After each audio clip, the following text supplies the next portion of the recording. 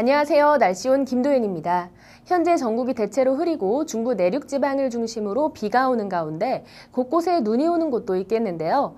특히 강원도 산간 지역을 중심으로 오전 5시를 기해 대설주의보가 내려졌습니다. 현재 그림을 보시면 중부 내륙 지방을 중심으로 비가 내리고 있고 강원도 산간 지역은 눈이 내리고 있습니다. 오늘 오는 이 비는 늦은 오후에 서울 경기도를 시작으로 점차 그치겠는데요. 남부지방은 늦은 밤까지 비가 계속되겠습니다. 또 중부의 북부 지역에는 비나 눈이 오는 곳도 있겠습니다. 경북 상강과 강원도 동해안, 경북 동해안을 중심으로 비나 눈이 오는 곳도 있겠습니다. 또 아침엔 전라도 해안 지역을 중심으로 짙은 안개 끼는 곳이 있으니까요. 출근길 운전하실 때 주의하셔야겠습니다. 오늘 낮 기온은 3도에서 14도 사이로 어제보다 낮은 쌀쌀한 날씨를 보이겠습니다.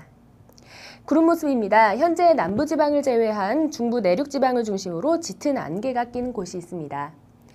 오늘도 우리나라는 기압골의 영향을 받겠습니다. 따라서 전국이 대체로 흐린 가운데 비가 오겠고요. 남부지방은 늦은 밤까지 이어지는 곳도 있겠습니다. 강원 산간과 경북 북동 산간 지역에는 눈이 오는 곳도 있겠습니다. 오늘 낮 최고 기온은 대부분 어제보다 낮아진 쌀쌀한 날씨를 보이겠는데요.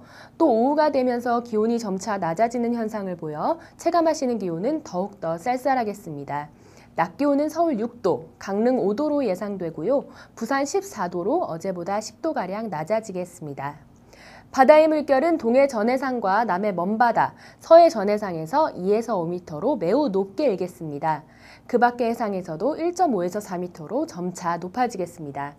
더불어 강한 바람과 안개까지 더해져서 조업하시는 분들은 각별히 주의하셔야겠습니다. 날씨 정보였습니다.